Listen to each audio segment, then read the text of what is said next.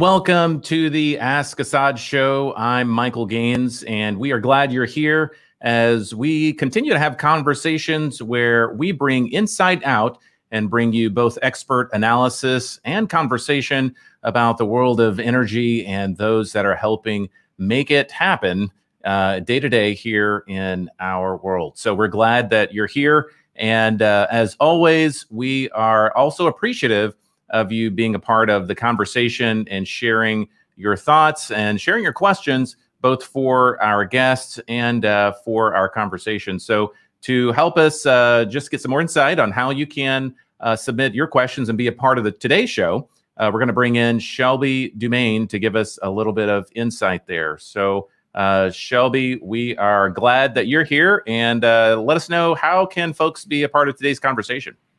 Absolutely, Michael, and, and happy to be here as well. I think we have a really great show, really great guest uh, lined up for today. So if you watching at home uh, want to ask your questions of our guest or of Assaad, uh, you can do so a couple different ways.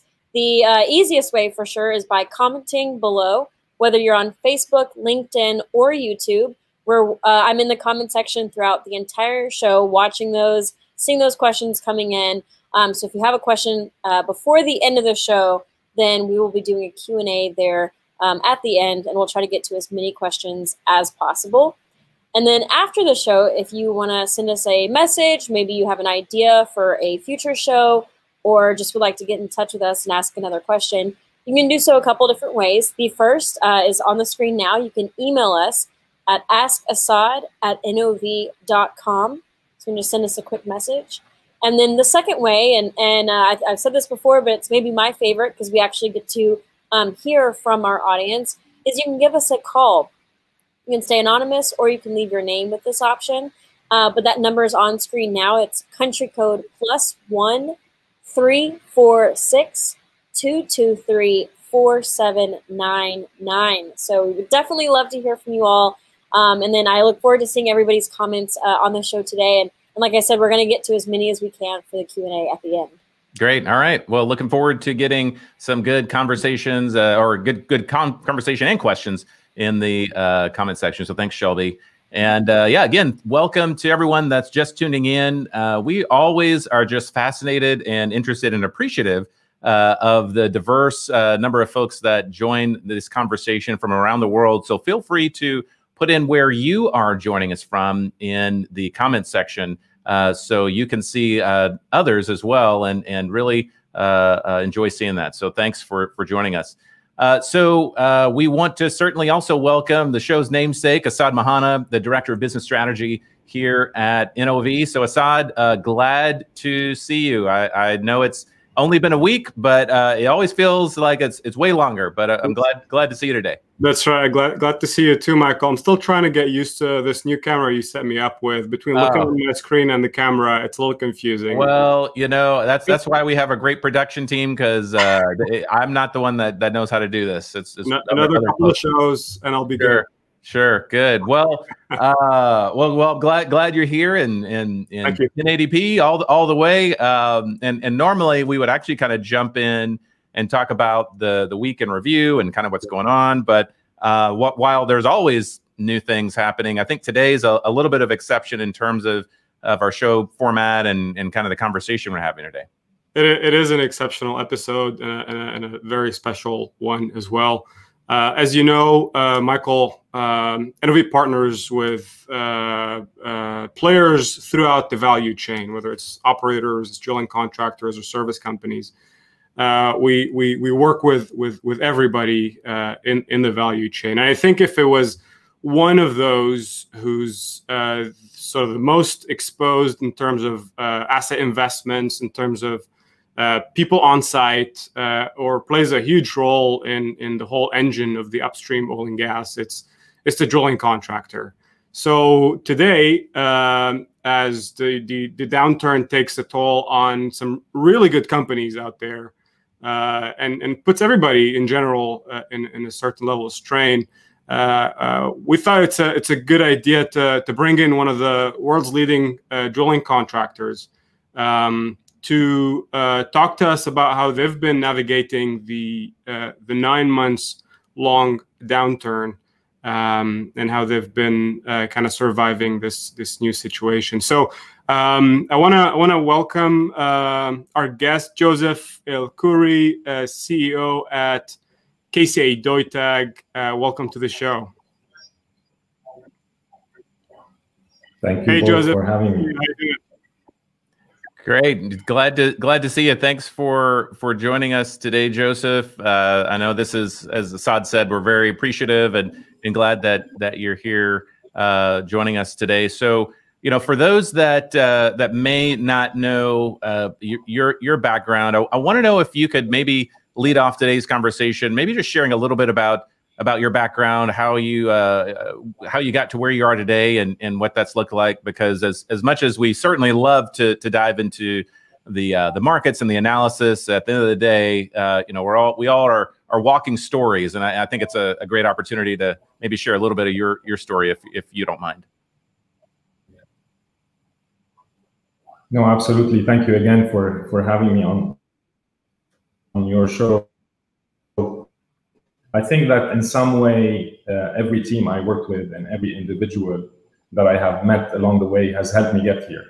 Uh, I spent 21 years at Schlumberger, and I'm very grateful for all the training uh, I received early in my career, the mentorship, the lessons, uh, some of the opportunities I got through networking in the oil and gas industry, in the energy industry at large. Um, I also um, or gained plenty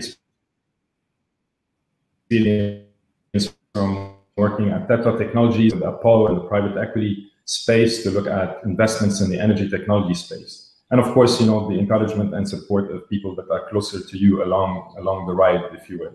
I developed earlier on an appreciation for leading and achieving through teams, and, and that remains my passion today. I think to really be successful and to be effective at that, one has to continue to learn, learn,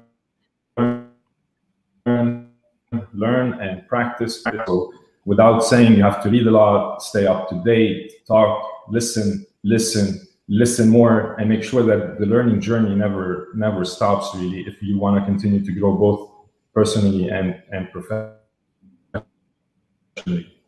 I do believe that any success, uh, reaching any target you set for yourself or your team, will depend on how hard you work. Nothing comes for free. I think uh, you have to be uh, taking initiative. You have to put hard and smart work into it to reach your goals. Now, in difficult times like these, you know, I sometimes question my own effective leadership, especially when you know you're in charge of people. Many leaders today uh, to deal or virtually managing uh, teams together, we all have to adapt quickly and adopt maybe new ways of thinking and leading to stay on top of things. So I have found that I got here by practicing all those, but lately I've had to adapt and think differently to be able to really lead and manage through these un unprecedented times. And lately I've been saying internally, investors, uh, to our stakeholders, our employees, and the communities where we work, that it is very important for us to pay attention to our own well-being. And it's very important for everyone to stay focused on what they can control. And that message is very powerful. I think it applies both at home and in the office or in the field. That's a that's a that's a I think a bunch of things I, I can personally take from that, and and I agree on on listen, listen, listen. That's uh, uh that's one I think everybody can can take advantage from. Um, Joseph, uh, you have been uh, in your role as CEO um, for about a year, maybe a bit, a little bit over a year now. Um, and uh, a few months into your job, uh, you got hit with one of the uh, biggest crises our industry has faced. It's we we called 2014 or 2015 a generational downturn. This one's probably uh, a, a, a, once in a century. Um, how has your your strategy changed? Uh, how have you reacted to accommodate with all that's changed around you? Yeah, I guess to, to, to answer this question, I think let me take you back to before before I really started. I was lucky enough to get some time to prepare for my CEO role at KCA Deutag. So that was quite beneficial. My strategy going into the role was to fully understand how customers and the stakeholders of KCA Deutag perceive the company. Um, it is important to build on the good attributes and try to uncover the internal bottlenecks that you may see in any organization so that you can perform better or outperform your competition and deliver above expectations with your customer. And because I got that opportunity to understand what the company was all about, I went in with my day one message to all employees. And I emphasized that everyone has to drive to zero.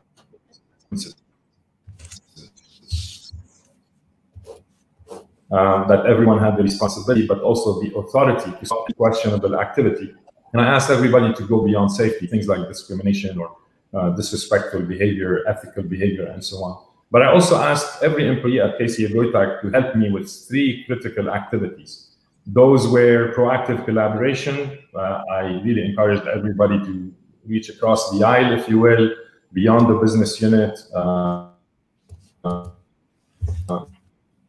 uh you know, break down the barriers between corporate and between different functions. But I also asked everybody to really navigate customer centricity properly and spend a lot of time listening carefully to our customer so that we can understand their problems and try a new solution so that we are a valuable partner, a contractor or a subcontractor. And then the third thing was to really ask everybody to start focusing on a bottom-up contribution to the results of the company, where everyone puts an entrepreneur hat, look at eliminating waste, preserving cash, becoming more effective, and hence improve profitability for the organization. And all that under the umbrella message that I've adopted for my CEO uh, tenure, which is enhance the brand. You know, to be honest, the pandemic and prior to the pandemic, every leader's challenge, whether you have a pandemic, a downturn, remote working, or virtual work, communication remains a leader's biggest challenge. How to reach everyone how to talk to everyone how to make sure that everyone understands what the game plan is what the big picture is how to make sure everybody knows how to contribute and their role in it. Now in the last six months you asked me what has changed. I believe kca Deutag's workforce has responded extremely well and i would be amiss if i didn't thank every employee. I'm very grateful to all of them especially for the field that we have in some places uh, have not been able to see their families in the last six or seven or even eight or nine months in some cases due to travel restrictions. And I'm forever grateful to that uh, workforce. I think the pandemic has created a lot of these are unprecedented times. I mean, they're not a downturn. This is a once in a lifetime uh, disaster that we have to deal with and learn how to manage and learn how to uh, counter that by staying a little bit optimistic and adopt a, maybe a positive mindset, uh, if you will, to support one another. The pandemic has also showed us, showed us all that was that what was taboo in the past uh, is not anymore. That we can accelerate our efforts with digitalization or technology, virtual working. That you know, as workforce everywhere, we can adapt quickly and adopt new ways of thinking. So this is maybe a silver lining of this this whole pandemic. Right. Right. Uh, that we can find creative solutions to problems that we're all faced with. Uh, that we, we all you know can think like entrepreneurs at home and try to manage you know our professional and personal lives. Um, I think there is a silver lining. We have to stay optimistic and, and adopt a, a positive uh, mindset. But but not everyone does accept that change should not be scary anymore because this is the biggest change we're gonna experience in our own mm. lifetime. Everybody that is working today, I don't think has experienced anything like this. And saying that managing change is really the norm rather than the exception. And right. this is a baptism by fire, if you will, so that everybody does it properly. Yeah. So a, a high level of agility uh, communication, empowerment of the people, and take advantage of innovation and, and technology is what I hear. And and I gotta attest to your presence, Joseph, on on uh, on LinkedIn and your communication within the organization. I can see that and uh, uh, admiring way of of reaching out. So uh, it's it's it's visible what you're doing. Um, I, I want to touch on. I, I, know we're we're we're uh, we have a question for you about technology in a little bit. But first, I want to want to talk a, a, little bit about uh, uh, collaboration. I know you're you're big on that. You've you've mentioned it in a few places. Um, uh, NOV and, and KCA Deutag are, uh, are, are, are partners uh, in a lot of places. Uh, I know we've our teams have worked together on multiple occasions, um, although we do compete in some other places.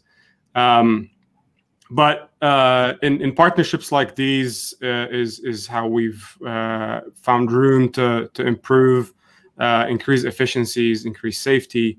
Um, I want to I want to get it from from you uh, a little bit on how can can recovery for our industry today uh, use that collaboration to, uh, to, to to get over what we're in. Yeah, uh, I think that's a very question. Uh, some you know people may not, but I think in my view, thinking like a traditional oil and gas or oil field services outfit is no longer a viable option. Mm-hmm. Uh, moving out of the pandemic as the lockdowns ease or as the oil demand starts recovering, it, it will be very difficult to move away for me, for example, as a drilling contractor, in at the time being. Uh, durable alternative, for example. So what we have to do to answer this particular question and help our E&P operators while oil prices are low, while oil demand recovers or not, is to think outside the box. And collaborative effort is, is there. I think one thing that we have to do, and we were doing it between 2014 and 2020, is continue to sign maybe agreements at historically historically low contract value. So in order to find this solution, uh, and it's not going to be easy, we cannot continue to do the same things and expect our customers to pay anymore. So yeah. uh, I think part of what we're seeing in the in the oilfield services space as well, a lot of the oilfield services have become begun to to retrench somehow to their core core typical core value or core product or what they're really best at. When we all start doing this, we will naturally want to team up with others that outperform in their space, with the complementary services that our customers want. I think that collaboration among the service providers may become the norm, may become more acceptable, may become a target that organizations like yours and ours, for example, will have to. You know, building these alliances may become very natural to the players because if you don't, you are going to slowly get out of business or not be profitable enough to survive. So I think alliances, collaboration, the one team approach that some of E&P operators have adopted have already proven in some expensive plays the benefits that they can provide. I think it is time for us to adopt up these collaborative efforts and business models in, in the majority of, of our activity rather than where it's expensive, like offshore, for example, right? The winners are going to be the ones, and again, this is my view, that collectively and collaboratively manage to deliver the most effective cost to operate to the customer. I think sure. it is paramount. It is paramount that we invest in figuring out what we're best at, become better it and deciding all things to every customer. So retrenching, focusing on what you're good at, becoming the best at it, and finding partners to deliver the same service is going to be key for us to succeed. So, uh, Joseph, I, I, really appreciate your your perspective, and I know uh, that that you have really dialed in and in, in, in, many fronts. Uh, so, I kind of wanted to pose a, a, question to you briefly. I know that we're we're uh, we, have got a few more questions for you as well, but uh, want to see if we can maybe rapid fire a couple to you. Uh, so as you look at uh, really digitalization and technology, and you you, you mentioned it just uh, a moment ago, uh, you know we we continue to see uh, a push towards uh, you know the technologies that help in in the space of reduction of you know personnel on board, certainly reducing risk, getting folks out of the red zone, you know reducing that that overall uh, risk profile. So, you know, we kind of look at the, you know, remote ops, digitalization, you know, all, that, that kind of umbrella of approach. How do you look at that uh, for KCA Deutag? What is what does that look like for you? Yeah, I think innovation is most effective when you continue to make indispensable improvement over a period of time. I mean, the iPhone started with the first original version, and then we have iPhone 11, soon iPhone 12. And if you compare both, I mean, you look at the iPhone, the first version, you say, uh, how did I live with that phone, right? But I think that consistent improvement is paramount. Our industry has historically and in general been a slow adopter of technologies that are not related to understanding the borehole and reservoir environment. In those spaces, we have always been leading. Now, in drilling, like you mentioned, we will all continue to invest in technology that allows us to make improvements in well delivery, in, in performance of the well, in delivery of the well, and the, the cost, whether it's improving ROP, reducing time on bottom, improving surface safety and reliability, removing personnel, like you mentioned, from the red zone or the line of fire, or potentially moving personnel off the rig floor altogether, enabling remote access, remote control to the to the rig itself or the drilling environment. Customers can really share with you if you're listening. They can view problems and you can come with innovative ways and creative ways to invest and and, and you know come up with a solution that is specific to them as well. But we may also want to think powering the rig now that everybody's moving into a lower carbon footprint. We may think about the electrification of our equipment. All, all that sounds too exciting, and we will need to engage each other's like in a collaborative effort to provide these solutions to the customers. Now, there is also much to benefit from the other emerging technologies out there that are not created in the oil and gas or the energy space. The environment has really changed. You mentioned digitalization. So it's becoming more mainstream for us and for our industry. I think mindsets have been changing prior to the pandemic. I think the pandemic may have and will accelerate that as well as a focus area for us. In particular, we have, if you think about it, we have a mobile enabled workforce today. How can we make use of that? Everybody has a smartphone, right? If they're not working, they don't have the smartphone. But in every other environment, how can we make use of that? I think uh, electronic tracking has become very cheap and it's yielding vast amounts of data. Are we using this data? Is it pure? Is it connected? Are we are we making use of all uh, bytes of data that we're creating? And lastly, the third is this digitalization effort is cloud storage and computing. Today, those have those technologies have become extremely accessible. They are very cost effective. And in addition, technologies have become readily AI enabled, where we have not developed those technologies or, or that effort internally in our industry, for example. I think leaders have to be able, now that I think about it clearly, have to be able to cut through the noise, understand how it may impact their supply chains and their operations. We all have to stay disciplined, but we all, all also have to to maybe manage the investment, manage wisely the investment so we can focus on trends that are very dangerous to ignore, if I might say. And you know, when you set ambitious goals to your organizations, most organizations respond if they know what the problem is.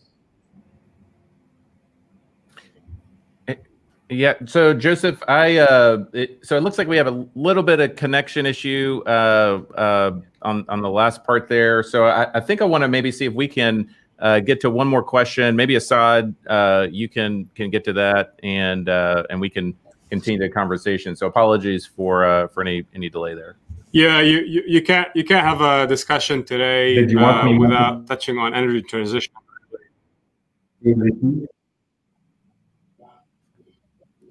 Go, go ahead. Sorry, go ahead, Joseph. No, I was saying.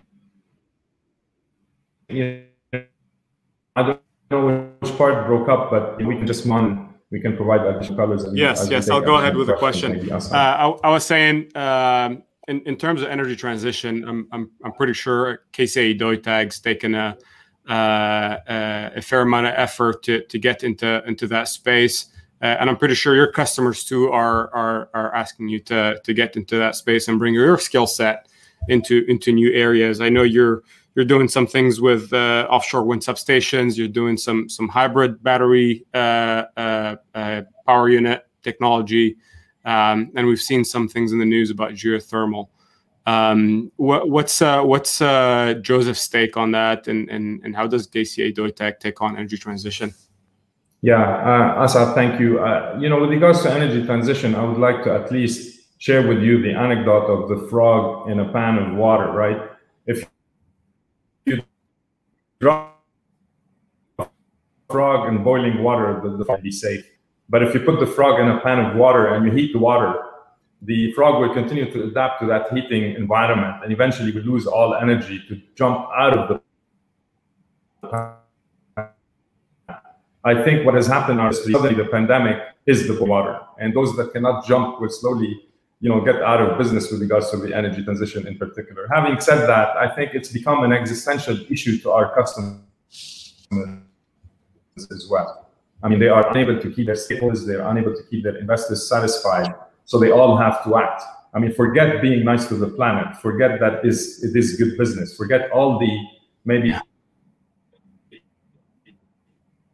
supportive um, data that tells us that the energy transition is a must. I think we've seen the latest developments uh, with some of our bigger customers in the last couple of months, whether it's announcements or actions that have been taken, you know, uh, Exxon and the Dow with the announcement that BP made, or Shell just kind of shared with the with the with the with the rest of the world. I think, for me personally, I think we should not resist the energy transition.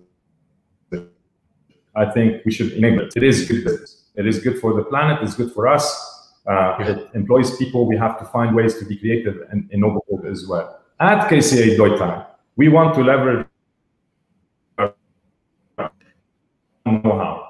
We have RDS, our engineering specialists. We have our Bentec manufacturing and engineering facility. We need to start this journey by reducing our own carbon footprint. Help yeah. our own customers do it as well where we operate, whether it's land drilling, offshore platforms, drilling, so on. We are like most still in the early stages of this effort. So I'm not going to outsell or speak or market what we do, but we have now a battery energy storage system that we and certainly help our customers, with, whether it's offshore or land operations or even our own operations. So we're looking to, to continue to deploy some of it through pilot programs, collaborative efforts, uh, field tests with, with some of our partners and customers. We have begun to look for partners. So we're able to provide maybe larger, more complex carbon reduction and carbon storage uh, solutions or carbon capture uh, solutions we are focusing our teams in support geothermal activity. In fact, most of our activity in Europe is around geothermal, and we're well placed to help those customers continue yeah. to uh, deliver on their projects. We're, we, we also are, um, you know, in the beginning of, of, of this journey as a company. We have uh, developed concepts for modular, deeper water, offshore substations, like we mentioned. We presented those at Offshore Wind Europe, and we will continue to engage with our customers to do it because that's know-how that we have developed over a decade or more, right? So we need to kind of build on that. But to be honest, there is also still much to learn for us as we take this journey with our customers, especially around other facets of the industry, like complete circular solutions and the hydrogen economies that everybody is talking about, just to name a couple of examples. Yes. Great. So, uh, Joseph, so I think I think this has been good. I I, I think we've seen uh, just a little bit of some uh, connection issues in our, our conversation, and uh, you know we talked about technology, which I think is great, and I think in this world of remote uh, conversations, sometimes uh, it can be be a little bit challenging. So, what I, what I want to do in order to to preserve the fidelity of our conversation is see if we can.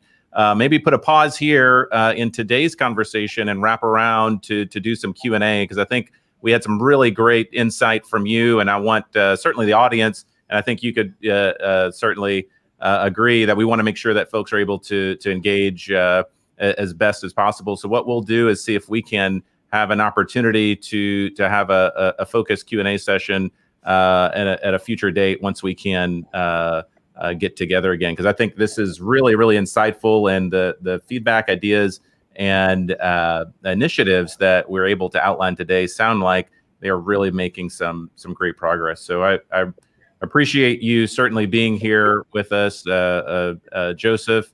Uh, and Assaad, thank you as well for. And, and I gotta, I gotta say, uh, really appreciate Joseph's uh, outlook and and perspective on this. I think if if it's one thing, it's taking things uh, away from the traditional way we've been doing things, and uh, connecting with uh, with the people, connecting with our employees, embracing change to to to recover recover from the downturn stronger. So appreciate you being with us today, Joseph great great perspective. Yeah absolutely. So so we will uh, be sure to circle around and ensure that we're able to have a, a, a, a follow-up q&a session where uh, those of you watching can pose your questions to uh, joseph and and we can uh, hopefully uh, get get that conversation going for you. So uh, thank you for joining us and certainly for being a part of the conversation. If there are questions that you'd like for us to be able to pose, uh, we encourage you to send an email to askassaad at nov.com and uh, we will go ahead and collate those. And uh, again, we will go ahead and set up a future conversation uh, with Joseph in order to get uh, those questions answered. So I'm sure uh, you will certainly want to join us there. So uh, from all of us here at NOV, thanks so much for joining us. Uh, we apologize for the connection issues, but look forward to having uh, uh Joseph back again, where we can uh, have the Q and A session and get those questions answered. So, thanks so much for joining us. Thanks for watching and for listening, and we'll talk to you next time.